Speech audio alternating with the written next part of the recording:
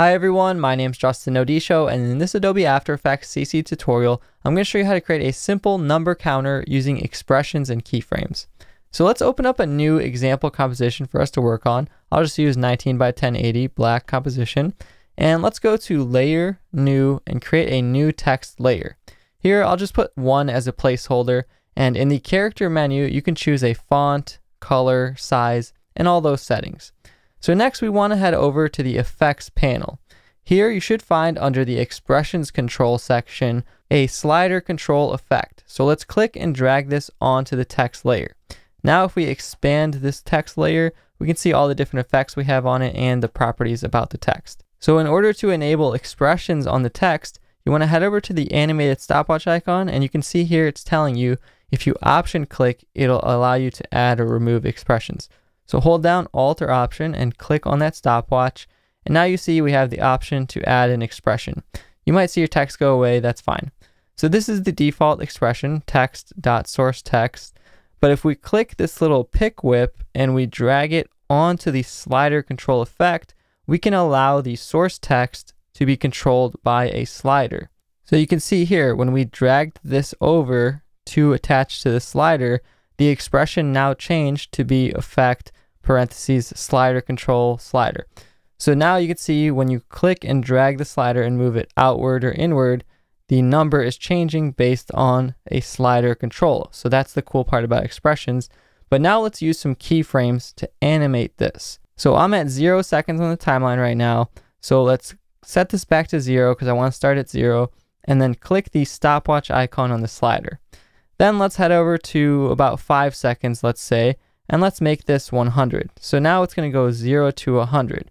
But you see all these decimal points that start popping up in the end because we haven't told After Effects what to do with these numbers or what numbers to round down to. So there's a couple ways that you could fix this decimal point issue if you don't want it. And for all of those of you who've taken a Java class or two, it's finally going to come in handy here. So uh, click on the expression again, and now we can start adding and building a little bit of basic code to adjust this expression how we want. So I'm going to put my cursor at the end of this expression so I can add to it. And I'll use dot value dot to fixed. And then in parentheses, you can pick the decimal place that you want the value to be fixed to. So if you want to round it down to one decimal, you can put the one in parentheses and you should see your reflections take place. Or if you want it to be two decimals, let's say if you're doing money or whatever you needed, you could see it's two decimals. You could also just do zero if you don't want any decimal places and then it's just going to give you a solid number. So that's one way to fix the rounding or decimal issue. And then another thing that you can do that's pretty cool is you can attach words or dollar signs or percentage signs onto this. So if I wanted to attach a dollar sign before, I'll do parentheses and then I could do dollar sign parentheses plus and then it'll add that to the expression. So when I press play now, you can see there's a dollar sign attached to the number counter. Or you could actually just make that have whatever character you wanted on there. So I could make it a percentage sign, or I could add words like the amount of likes on this video. So we could make it say whatever we want and then have the number counter at the end.